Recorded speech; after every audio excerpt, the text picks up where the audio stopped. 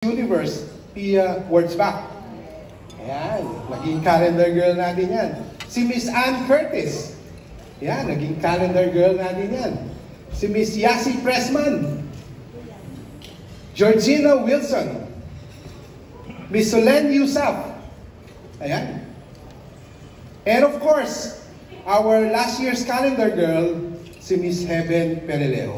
Peralejo. Ayan. Siya yung ah, papalitan nung ah, bago nating ilo-launch this evening. Since 1988, or 36 years ago, Ginebra San Miguel has had popular beauty queens, models, and actresses grace its calendars. It is a tradition, a part of history that we are proud to continue in the years to come. And tonight, we will all witness another history. Are you ready for the big reveal? Excited na ba kayo? We will all find out later. In the meantime, please be enjoy.